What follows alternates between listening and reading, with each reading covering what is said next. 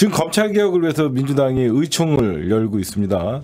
우리 누구보다도 어, 우리 조국 전 수- 장관 수석과 함께 우리 청와대에서 근무하실 때 문재인 정부의 검찰 개혁의 기조 가장 잘 알고 계시거든요. 우리 일단 우리 문재인 대통령께서는 수사권 조정하고 검, 공수처 이 두 개를 통해서 문재인 정부 때 어, 검찰 개혁을 완성했다 이랬고 이제 검수완박 수사권을 전부 어, 경찰과 검찰 사이에 조정하는 문제는 다음 정부로 넘기자. 그 다음 정부라는 것은 당연히 우리 우리, 민주정부인데. 우리 민주정부죠. 네. 근데 민주정부를 이어가는데 실패는 했지만은 그 다음 정부라는 것은 지금 현재 입법부인 국회 과반 이상을 차지하는 국회의 임무이기도 하지요. 예. 예, 그런 점에서 우리 문재인 대통령 지금 현 정부에서 할 일은 공수처 제도 만들고 수사권 조정하는 것 이것까지가 이제 목표였고 다음 정부를 정권을 우리가 음, 이어가지는 못했지만은 우리 국회에서 이어가 줘야 된다 저는 이렇게 생각합니다. 특히 이 검찰 그리고 언론의 피해자 어떻게 보면 강기정 수석님이 청와대 그만두시고 나오실 때 조선일보가 갑자기 느닷없이 라임 사건 강기정 5천만 원 받았다. 이건 진짜 공작이었거든요. 일단 그렇죠. 터뜨리고 본 건데 그때는 저희가 황당했지요. 네. 갑자기 5천만 원을 받았다 그래서 이제 알고 봤더니 추적을 했더니 결국은 당시에 검사하고 음. 당시에 김봉현의 변호사 이 사람도 검, 검찰 출신이에요. 음. 그렇죠. 예. 이 둘이가 짜서 강기정 정도는 잡아줘야지 너 네. 보석 줄 거 아니냐 보석으로 내줄 거 아니냐 음, 이래가지고 제가 완전히 골로 갈 뻔하다가 어, 살아났어요 그때 아, 받은 일이 없으니까요. 받은 일이 없고 청와대를 돈을 5천만 원을 가지고 갈 수 없다. 그때 여름이었는데요. 네. 8월.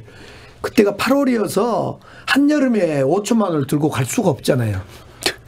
검색 때도 다 있고. 네. 그래서 제가 네. 살아난 거였죠. 네, 네. 깜빡했으면 완전히 엮일 뻔했어요. 진실이 밝혀질 때까지 시간이 걸리니까. 예. 검찰에서 이런 일을 한두 번 한 게 아니에요. 사실 그러니까요. 그 소리 없이 당하신 분들도 엄청 많거든요. 그래서 이번에 검찰 개혁 민주당이 반드시 지금 해내겠다라고 의지가 굉장히 강합니다. 이번에 대선 때 호남 특보단장을 맡으셨어요 이재명 후보님. 네, 예. 그 많이 애쓰셨고 또 지방선거 예비 후보로 지금 등록을 하셨는데 정신없이 지내셨을 것 같아요. 대선 끝나자마자. 이제 대선이 끝나고 한동안은 다 그냥 TV도 안 보고 저녁 되면 술자리 술 찾고 잠을 못 이루고 그런 시간들을 보냈지 않습니까? 네네. 저는 이제 1년 4개월 동안 술을 안 먹다 보니까 술은 못 먹고 정말 저도 나름대로 최선을 다한 이후에 대선의 패배라서 참 어, 참혹했지요. 음. 제가 이제 광주에서 하도 윤석열 후보가 당시에 표를 뭐 두 자리 그걸 저지하기 위해서는 8090 네. 80%의 투표율에 90%의 득표율 예, 예. 8090을 걸었는데 앞에 80%는 성공했는데 이제 뒤에 90%는 약간 못 미쳤죠. 약간 못 미쳤죠. 윤석열 후보가 12%를 얻었으니까. 그래서 약간 못 미쳤는데 이제 그러다 보니까 한 2주를 한참을 멍하니 지냈죠. 다. 예. 광주 시민들처럼. 그런데 지금 광주가 세간에 굉장히 그 이슈가 됐었어요. 그 안전 문제 때문에 최근에 아이파크 붕괴 사건이 두 번이나 일어나고 어, 현직 광주시장의 어떤 친인척 어떤 비리들이 언론을 통해서 보도가 되고 있는데 이 아이파크 붕괴 사건 근본적인 원인 그리고 아, 앞으로 안전 대책이라도 있으세요? 우리? 우리 이제 광주가 자존심이 상했다라는 얘기를 그렇죠. 많이 사- 예. 상했죠. 세월호 2014년 세월호 이후에 우리 문재인 대통령께서 안전의 컨트롤 타워는 대통령이다 이걸 선언했어요. 음. 그랬던 것처럼 광주가 아이파크 현대산업개발이 두 번 무너졌는데 음.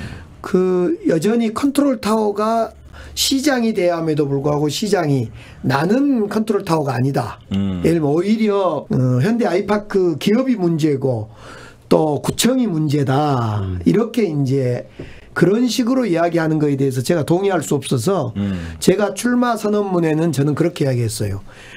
안전의 컨트롤 타워는 광주 시장이다. 음. 안전의 컨트롤 타워의 시장 제가 되겠다 이런 선언을 했는데 지금 이제 안전의 문제는 세월호 이후에 우리 국민들 또는 시민들의 관심사인데 저는 중대재해처벌법이 만들어지고 나서 각 지자체별로 그 대책 전담 부서가 만들어져야 되는데 지금 안 만들어지고 있어요. 예. 네네.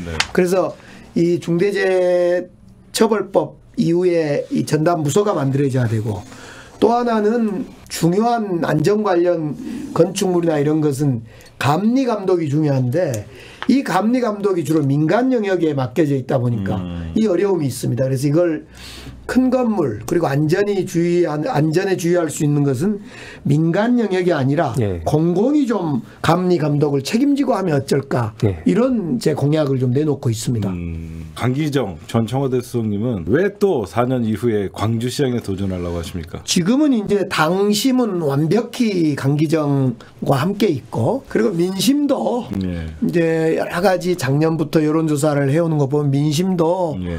어, 변화를 요구하고 있어요. 그래서 음.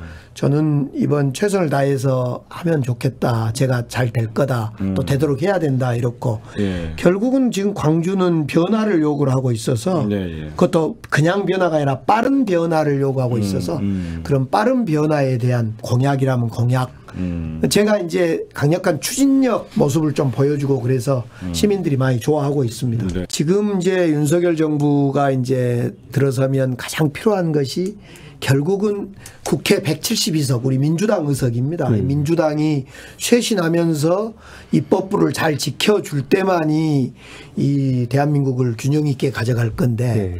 제가 예를 들면 2008년에 그런 경험이 있는데 2008년에 우리 노무현 대통령이 물러나고 이제 임기가 그만두고 우리가 정권을 빼앗겼어요. MB 정부에. 예. 그때 우리 의석이 84석인가 됐거든요. 민주당 의석이. 그러니까 당시 한나라당이 막 밀고 들어와요. 뭐 날치기, 4대강, 종편. 그때 종편이 만들어졌어요. 그때 제가 종편 저지 투쟁하다가 재판 받아서 뭐 천만 원도 받고 그래 제가 그때 낙인 찍혀서 폭력 의원 뭐 과격 이미지 뭐. 싸움꾼, 네, 과격, 투쟁꾼, 네. 투쟁 한나라당이라. 다 둘러섰지요. 맞군요. 그런 거에 비하면 지금 172석이 엄청 중요하니까 이 172석에 국회의원들과 잘 소통하고 협치하는 시장 그게 가장 중요할 것 거의 같아요. 두 배가 늘었네요, 진짜. 네, 예. 지금. 어, 우리 수석님 호남은 늘 우리 인식에 정치적으로는 늘 수식어 같이 홀대받는다. 그 다음에 늘 낙후돼 있다. 그리고 호남 발전에 어떤 가로막는 이유가 뭐가 있다고 생각하세요? 우리 이제 호남이 사실은 어제 고, 오늘의 일이 아니기 네, 때문에. 고백하건대 호남 광주는 음. 그동안 역사를 혁명하는데 올인해 왔다고 해도 과언이 아닙니다. 음. 자기 거 다 내려놓고 민주당에 표가 필요하다면 90%막 찍어주고 네.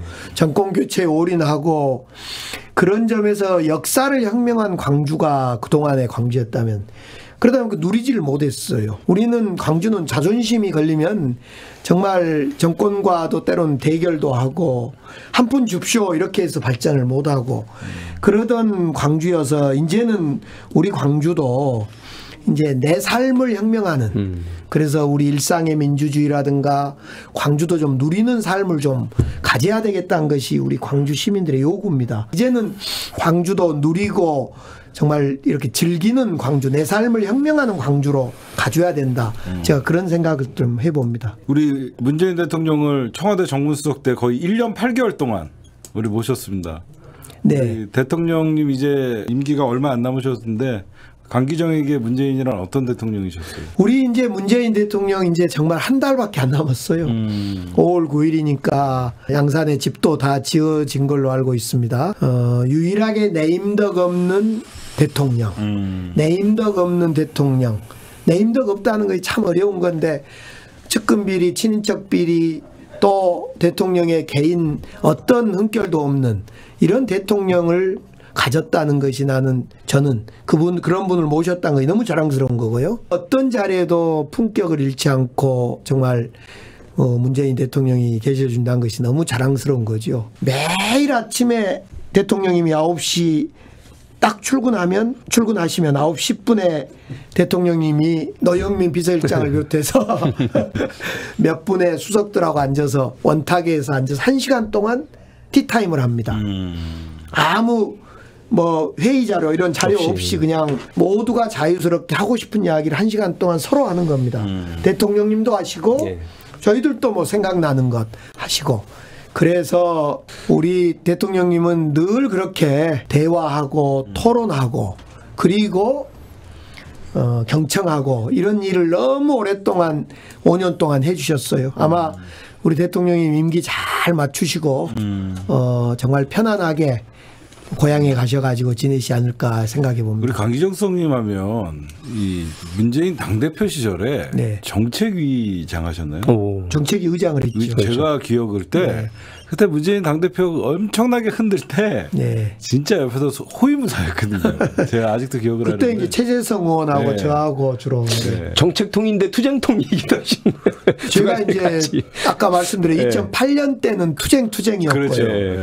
네. 네. 우리 문재인 대통령께서 2015년 당 대표일 때는 제가 정책위 의장을 해서 그때 그 지금 코로나 전국에 우리 문재인 대통령이 대응을 하- 잘 하셨는데 그때 2015년에 뭔 사건이 있었냐면 메르스. 예. 메르스 대책을 야당 대표인 문재인 대표께서 잘 해주셨어요. 네. 그때 많이 배웠어요. 음. 저도 그때 정책위 의장으로서 야당 정책위 의장하고 대책 세우고 이랬던 기억이 아련하네요.